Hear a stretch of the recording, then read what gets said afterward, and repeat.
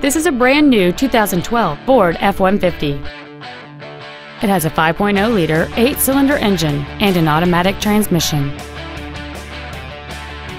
All of the following features are included. A double wishbone independent front suspension, a low tire pressure indicator, traction control and stability control systems, an engine immobilizer theft deterrent system, a passenger side vanity mirror, 12 volt power outlets, an anti lock braking system, side impact airbags, a split folding rear seat, and air conditioning.